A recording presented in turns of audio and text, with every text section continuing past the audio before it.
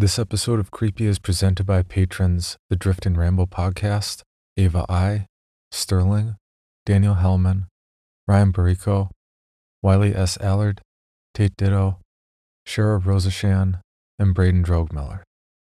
Each week, patrons get rewarded for their support, whether it's by early access, bonus episodes, personalized narrations, or more. Our patrons mean the world to us.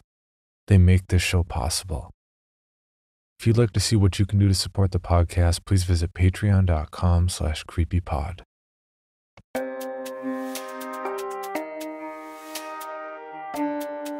This is Creepy, a podcast dedicated to sharing the most famous, chilling, and disturbing creepypastas and urban legends in the world.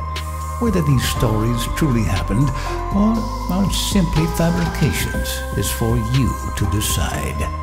These stories may contain graphic depictions of violence and explicit language. Listener discretion is advised. Creepy presents The House That Death Forgot.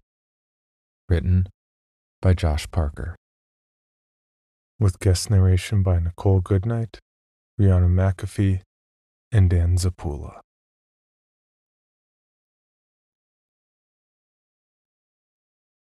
Melinda hated driving at night. She did her best to avoid it. Short trips to the store if she just realized that she ran out of tampons or had nothing for dinner after getting home. That sort of thing happened now and then. But she did her best not to go out after dark unless someone was coming to pick her up. So naturally, she found herself on the longest drive of her life tonight, with no moon, few stars, swirling clouds above her, and acres of forest on either side. As so many unpleasant things in her life, this was her father's fault. She hadn't seen or spoken to the bastard in 15 years, but just after falling asleep tonight, no, that was wrong. It would be yesterday by this time. Out of the blue, her phone rang, and his voice was on the other end.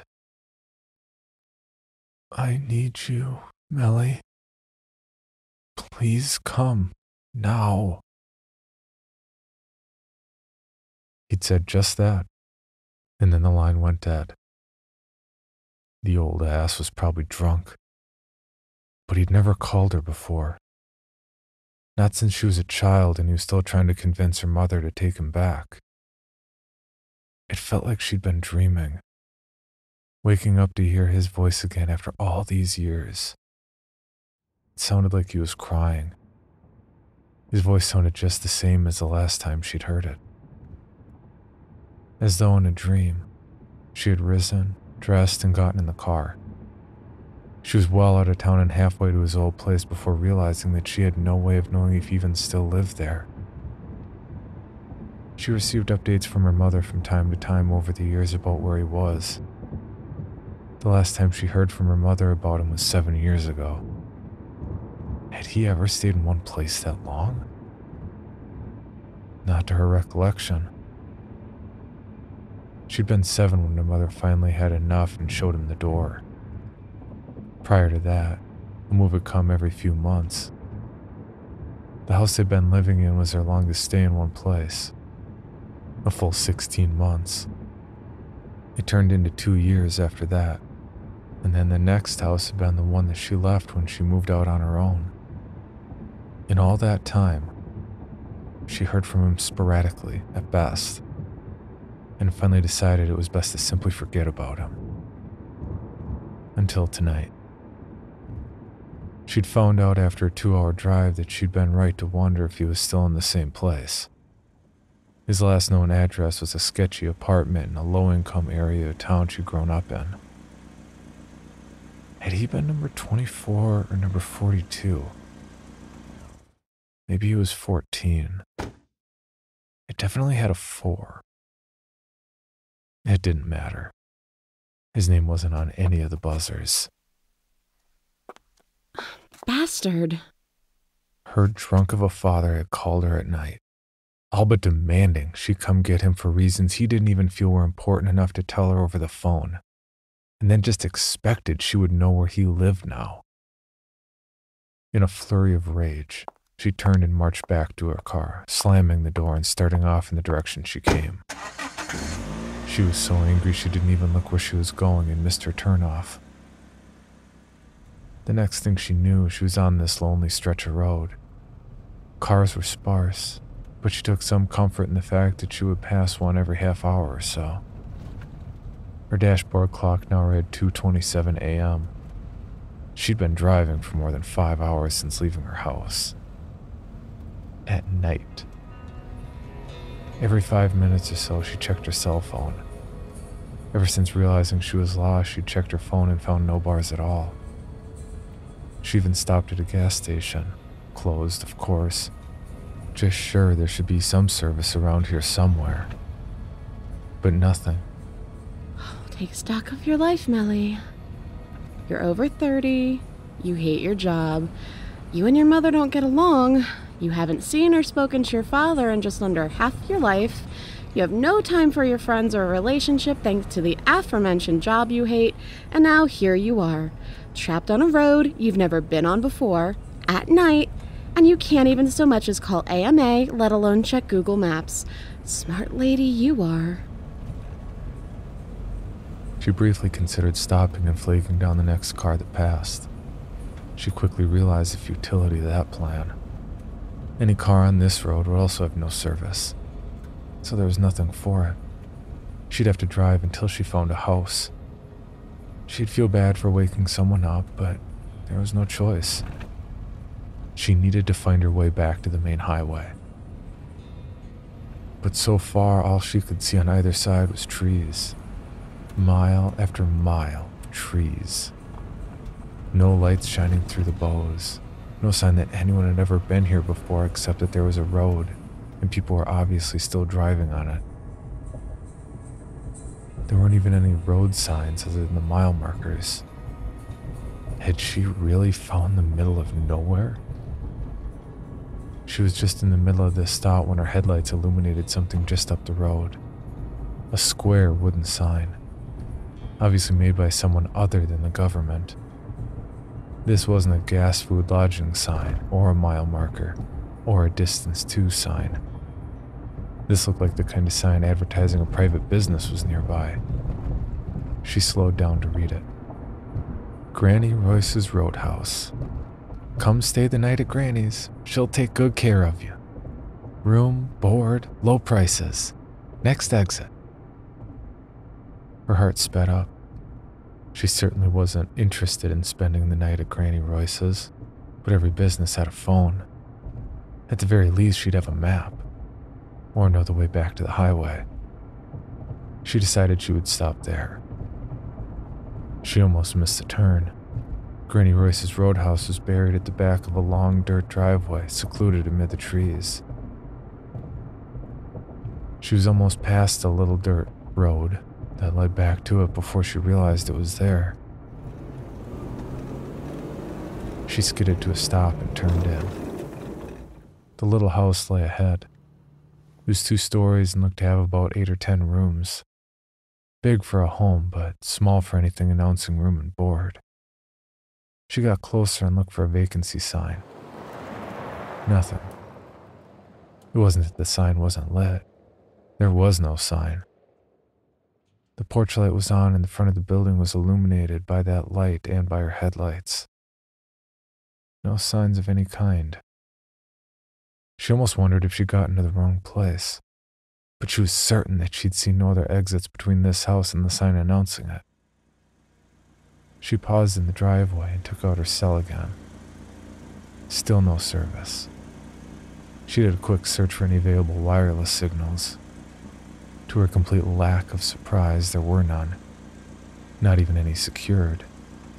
There's no one here but me. At this point, she wouldn't be surprised to find the house empty as well. But the light was on, and this was supposed to be a roadhouse. Someone would be manning the front desk. She got out of the car and headed for the front porch. As she turned around to make sure the lights flashed when she hit the lock button on her fob, She thought she could see a flash of movement in the trees. Something human shaped. She stopped and looked again. Nothing. She decided she imagined it. At the front door, she hesitated. If it really was a roadhouse, then she should be able to just go on in. But what if she got the wrong house? If she tried the door and just walked in, she could find herself arrested out here in buttfuck nowhere. Cautiously, she tried the knob. It turned. She pressed gently on the door. It opened. Relief flooded through her when she saw that she was in a small but tastefully decorated foyer that had obviously been repurposed as an admissions area. A quaint desk with an honest to God guest book had been placed in the far right corner and some chairs had been set out, along with magazines on a table. She read the titles briefly Mademoiselle, Blue Book, The New Country Life, Arts and Architecture, before turning her attention to the little desk. There wasn't a computer. That was a cute touch. It was like the house was from a past era. Perhaps old Granny Royce didn't like modern technology. There was, however, a little bell, just like there would have been in 1929. It wasn't even a round silver kind you slapped to ring. It was a little porcelain handbell. This place was starting to out cute her. Please let her have a phone and please let it use the number plan, not 50s exchanges. She picked up the bell and gave it a shake. For a while, nothing happened. Then she saw a light come on in the back room and shadows of an old woman sprang up on the wall. The shadows moved towards her, and within seconds she saw its owner, Granny Royce, who perhaps looked like every grandmother in every storybook ever. Well, Goodness me, my lands. Good morning, dearie.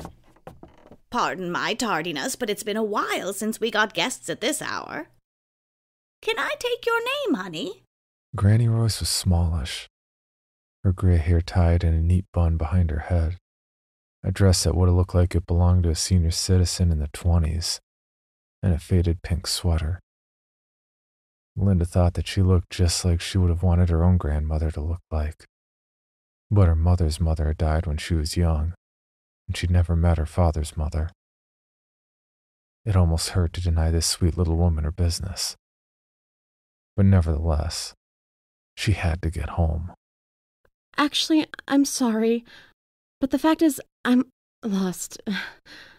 I'm not even sure where I am in the direction of. Oh, you poor thing.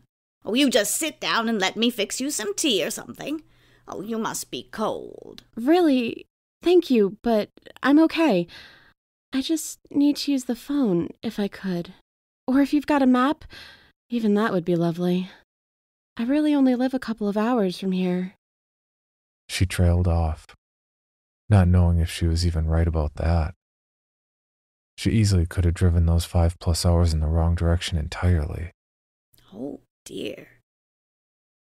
I'm sorry, honey, but the phone lines are down. As for a map, well, I used to have one. And if I look, I still might, but it's probably quite out of date by now. The highway has moved since then, I know that much. Melinda's heart sank. How could her luck get any worse? No phone, cell, or landline, and no map. What could she do? She had to get back home. She was expected to work at 8 a.m. tomorrow. And why were the phone lines down? The weather was coldish but clear. Were they fixing a line nearby? She told Granny Royce the name of her town, but Granny only said, Oh, believe it or not, I've never heard of that town. What did you say the name was? She told her again. No, doesn't ring a bell, I'm sorry.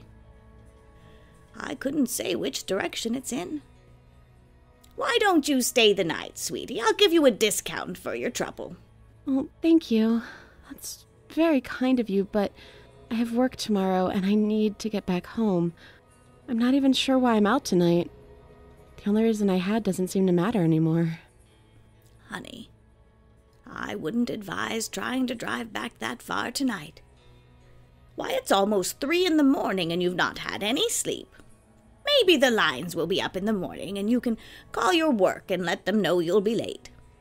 That won't work either. I- I'm the opener. No one will be there. No, I'm sorry. I've really got to leave. I'll head in the other direction until I find the road I was on. At that, Granny Royce's expression, already one of kind concern, seemed to shift somewhat to one of fear. She paused, looking at Melinda as though she wanted to say something else to keep her inside. Finally, she said reluctantly, All right, honey. If you're sure. Just. You be careful now. Don't speak to nobody until you're back on the road. That last warning seemed a little silly. After all, what was Melinda? A little girl? She thanked Granny Royce for her kindness and headed back to the car. About halfway to the car, she remembered thinking she saw something moving in the trees. Her eyes scanned both sides of the secluded little cleared area she was in, looking for anything that appeared to be moving on its own rather than being blown by the slight wind. She saw nothing. Satisfied, she headed for her car. All four tires were flat. God damn it! She leaned down and saw long slash marks on each tire. Someone in this little slice of green acres had slashed her tires in the time it took her to find out that she had no way of contacting anyone tonight. Kids from a local farmhouse. Gotta be. Nothing else to do, so you might as well go out at night and slash tires. She stopped and let the reality sink in. She wasn't going anywhere tonight. She had no choice now. She had to stay the night here until morning, when hopefully the phone lines would be up and she could call someone from work to ask them to go in for her, and then AMA to get her tires dealt with. She sighed and walked back in the house. She could hear Granny Royce as she was walking back to her room. She had already turned off the lights. Resigned to her fate, Melinda rang the little bell again. Is that you, miss? Yes, it's me. Sorry to be a bother. My name is Melinda Orton. Sorry I never mentioned it before. I guess I will take a room for the night, if the offer's still good. Oh, of course it is, dearie. said Granny Royce, re entering the room and turning the lights back on. Melinda. Oh, that's such a pretty name, honey. Let's get you situated. You put your name and arrival time in the book there, and I'll get you a key. All the boarding rooms are on the second floor, and there's only a couple left. There are others here? This was surprising. Not a single car had been in the front lawn when she pulled in. Oh, yes, Miss Melinda. Granny was putting around in the adjacent room. Mr. Norris, young Calvin, there's a few of us here. She came back out with a key in her hand. Just out of curiosity, what made you change your mind? She seemed to brighten as she asked the question, as though relieved that Melinda would stay after all. Oh, it, it's probably just the local kids getting kicks. But I found my tires slashed. Granny stopped suddenly, her face twisted with concern and worry. Then she resumed, as though nothing was wrong. Oh, nothing to be done for it, I suppose. She said with an air of sadness. Well, not until morning at any rate. Then hopefully the lines will be up. Oh, said Granny Royce, distractedly. yes. Hopefully. She led Melinda up the darkened staircase into an empty, quiet hall. Or perhaps not so quiet. From one end of the hall came the muffled sounds of someone crying.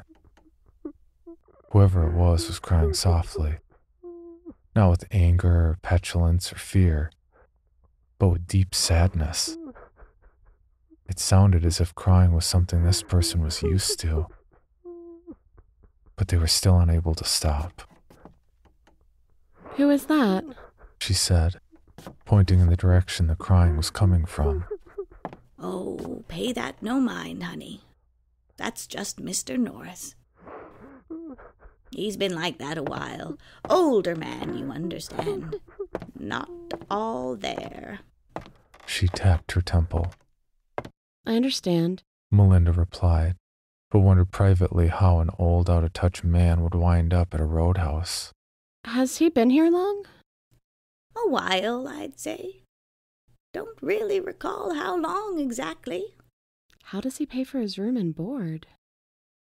I guess he doesn't drive. Actually, it doesn't look like anyone else here has a car. Granny started at this, looking up with an almost guilty expression. Oh, well, that kind of thing is the business of the guests. I don't ask about such things. She turned the key in the lock of the room she led Melinda to and opened the door. Turning on the light, she showed Melinda the quaint little room. Melinda thought it looked like stepping into the past. She could swear this room would have looked modern in the late 50s, at the earliest. Come to think of it, so could the rest of this place. No wireless service, no computer, that old bell. And those magazines, they looked new, but. That thought was cut off as Granny put the key on the nightstand and started in with the instructions. Now the bathroom is down the hallway there. You'll be sharing with the whole floor, so please bear that in mind if you have to go. There's a shower schedule on the door as well. First come, first serve. You just add your name to the first available line, and that's the order the showers are in. I wouldn't worry about that if I were you, though. I'm sure you'll be first in line. I get up at 6 a.m. sharp every morning and start breakfast, but you come on down whenever you're ready, and I'll whip something up for you. Oh, and uh, one last thing, my dear. I would strongly advise you not to leave the house until sunup. You just never know what could happen out there. In the dark. Of course. I'd never go out there in the dark if I didn't have to. She stopped that train of thought right out of the gate. After a few moments, she was alone. Alone, without anything to wear to bed and nothing to shower, brush her teeth, or hair with in the morning. She sat on the bed and looked out the window, which faced front. Her car still sat where she'd left it, the only thing for miles that seemed like part of her world. And an expensive, overlarge paperweight until I can get a hold of someone. Despite the hominess of the room, she felt an unwillingness to rise and shut off the light. Somehow the thought of going to sleep in this backward little room seemed unthinkable. So instead, she continued to sit and stare out the window. A figure in black detached itself from the shadows of the trees and made its way to her car. The hell? She jumped up and ran at the window. The figure was tall. It seemed to be wearing a cloak made of night. She saw as its arms extended. In its hand was a long, jagged dagger. It dragged the dagger across the side of her car leaving a long gash mark in the paint and metal. Hey! The figure kept dragging the dagger. She reached for the window to open it. It wouldn't budge. She looked for the lock but couldn't see one. Hey! This time the figure raised its head. She could see the glint of two eyes under the hood. The figure raised the dagger, slowly, determinedly. It pointed it straight at her face. She leapt away from the window and ran for the door. A noise on the other side stopped her. Footsteps. Dragging, shambling footsteps. And crying. The sound of a person for whom deep, longing sadness is a way of life. Mr. Norris? She waited. Somehow she just felt that she could let the old man pass before she opened the door. Before he got very far, however, she heard other footsteps. these much quicker and lighter, ran up the stairs and stopped near the front of her door. Stop it.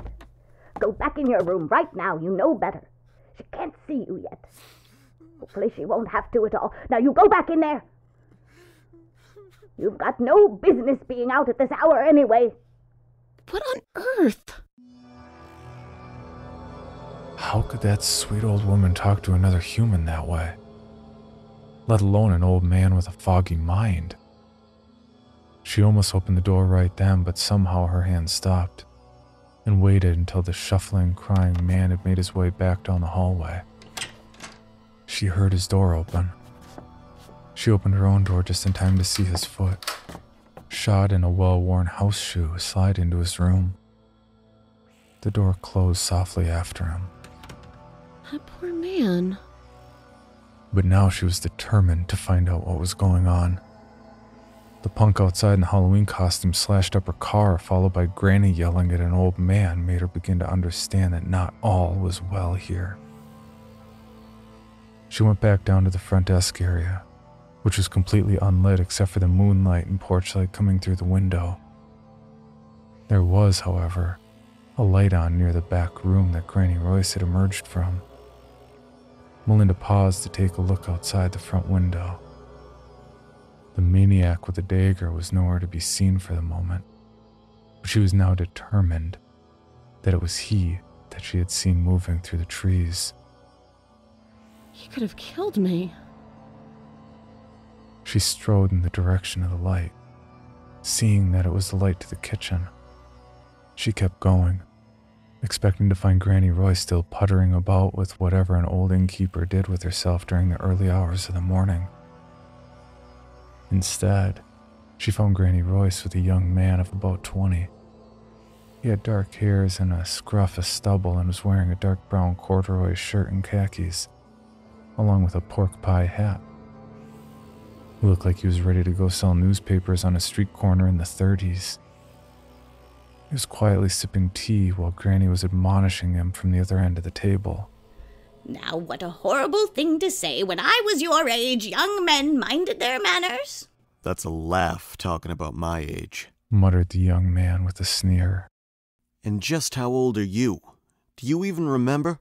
Calvin Davidson, you are trouble, young man. Neither had noticed Melinda yet. One of these days you're going to say something you'll regret. Oh, come on, Granny. What could I possibly say that'll make things worse than they already are? I mean, look at old Mr. Norris up there. Both of us are old. Oh, um. Hello, miss. I. I didn't know we had anyone else here. He had just seen Melinda. Uh, hi.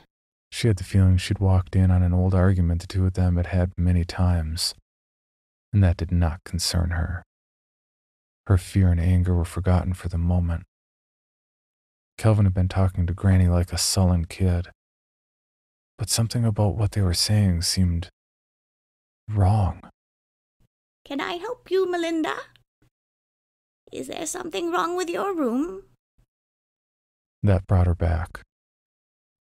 No. The room is fine, but nothing else is. I mean, why on earth do you even have a roadhouse out here where it seems like no one ever stops? Why are most of the rooms full, even though mine is the only car out there? Why did I hear you talking to Mr. Norris like he was a dog? And why would you want to make sure I didn't see him? She got no further before Kelvin cut her off. Good lord, she's not even been here a night and she can see it. Why'd you even let her in, Granny? Why don't you just bolt the door? Hell, if I could go take down that sign, don't you think I would have by now? Lord love a duck. There's something you don't hear many young men say. She decided to ignore Kelvin for the moment. And besides that, there's someone out there. He's the freak who slashed my tires and he's been out there messing up my car since then. And you can't even call the police. Are you going to tell me you've never had vandals out here before? There was a long pause in the room. Neither Granny nor Kelvin seemed willing to break it. Kelvin scratched at his neck. For the first time, Melinda noticed a red slash at his throat, half hidden by his collar. It looked like either a very fresh scar or a slightly healed wound. Listen, miss, I don't know your name. Melinda. Melinda. Melinda, I think you should sit down. I have to tell you something that you may find troubling. Melinda did not like how he said that.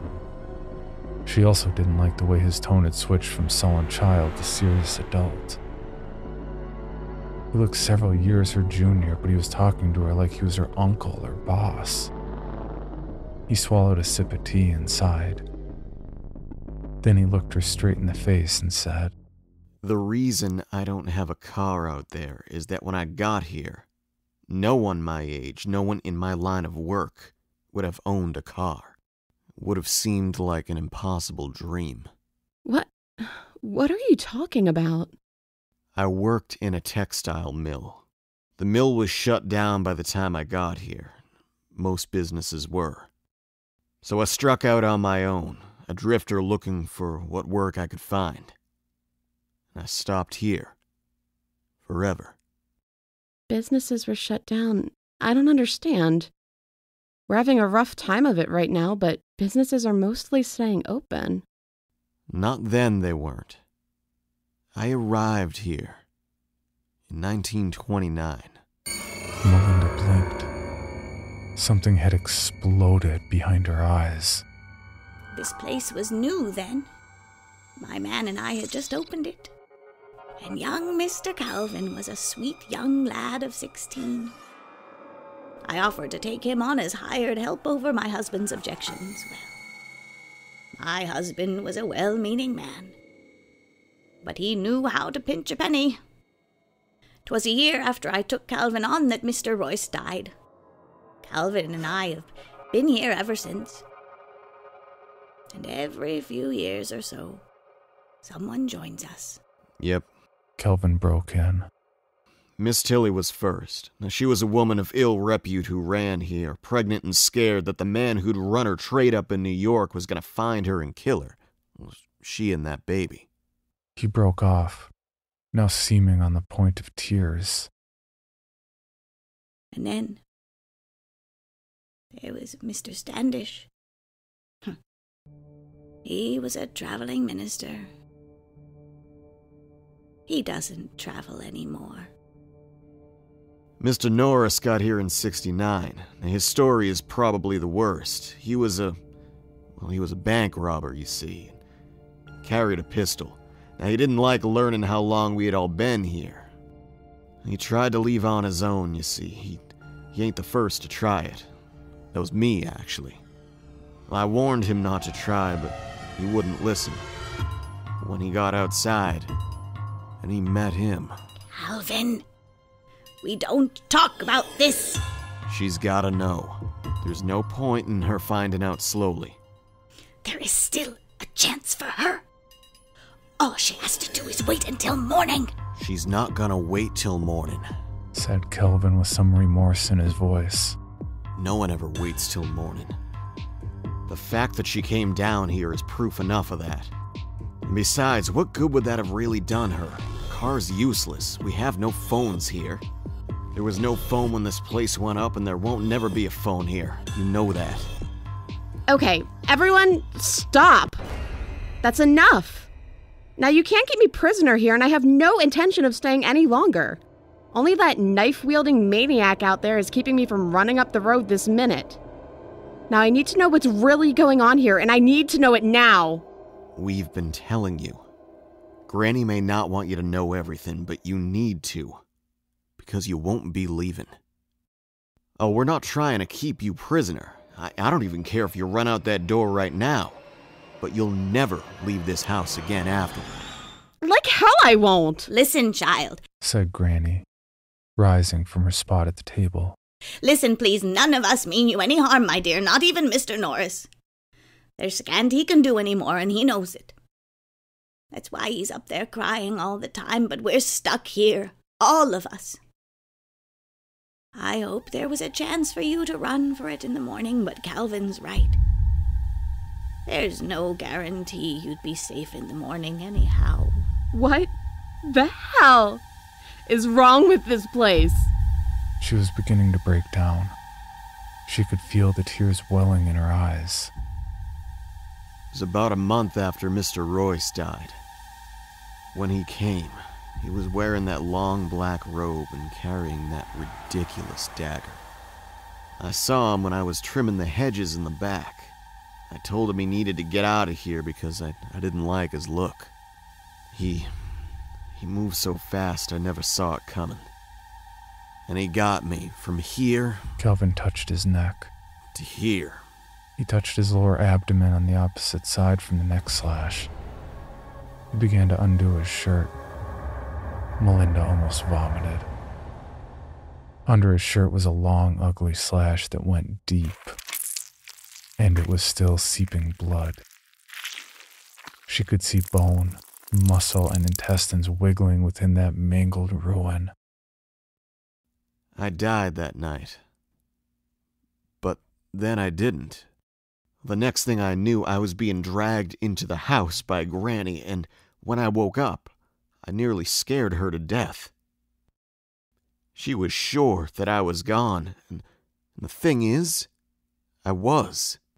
But I was awake. I could talk and walk and do anything I could while alive, well, except take any enjoyment or nourishment from food or drink anymore.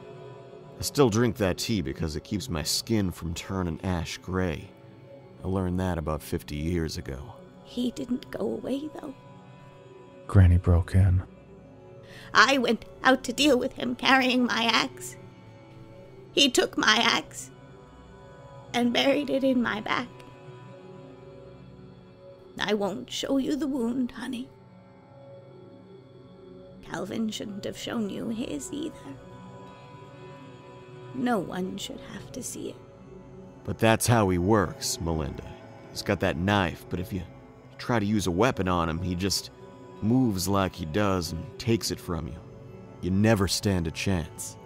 He'll use whatever weapon you try to take him down with to end you. Mr. Norris learned that the hard way. This is this is not happening. Melinda was ready to break down. She had to hold it together. She had to get out of here somehow. Nothing about this was right. Nothing about it could be real.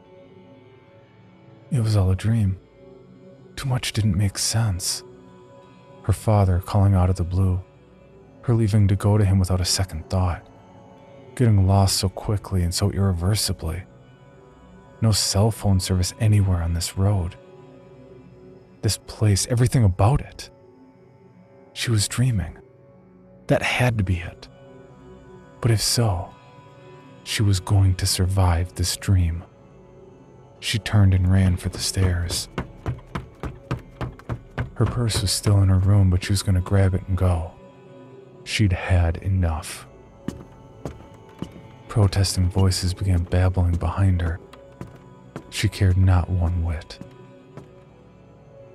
Mr. Norris was waiting at the top of the stairs. Contrary to Granny Royce's description of him, he was not old at all. No more than about 40. But she saw instantly what she meant by not all there. The top half of Mr. Norris's head looked normal, like a reasonably attractive man with dark hair peppered with gray here and there. His eyes, a clear green, were moist with fresh tears. The lower half of his face was a ruin of bone fragments, shredded muscle, and blood. So much blood. His left side was similarly destroyed. His arm hung on a few hanging strings of muscle.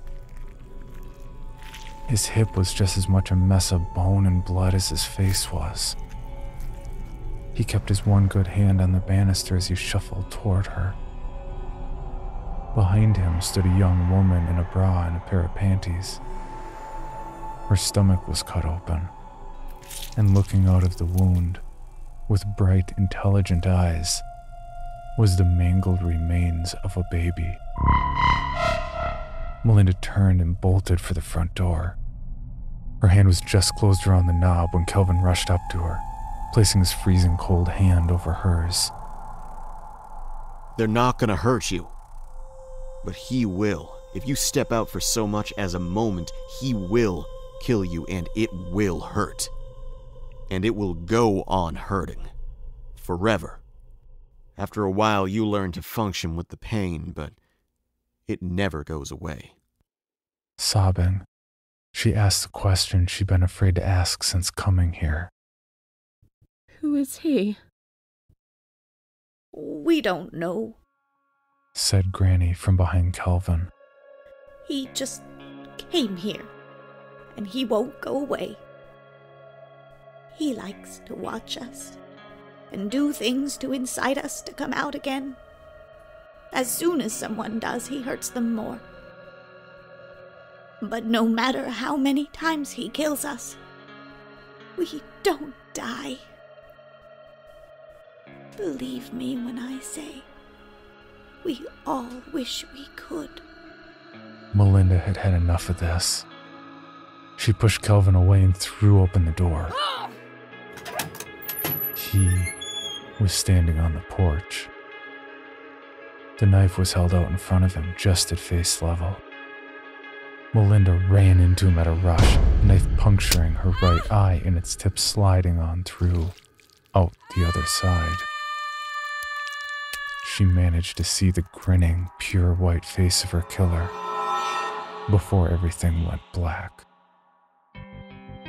A few hours later, the house erupted with screams from upstairs as Melinda awoke to a world of pain, the likes of which she'd never known.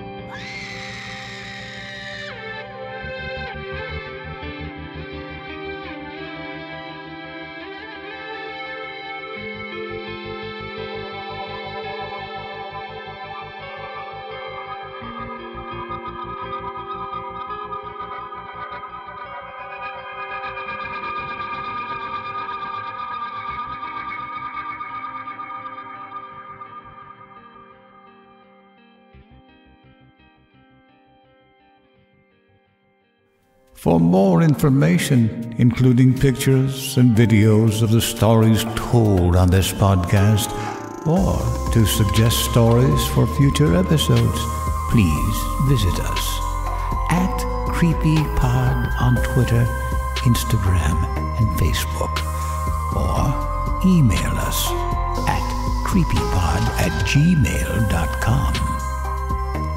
All stories told on this podcast can be found at creepypastawikia.com and are protected by a Creative Commons license.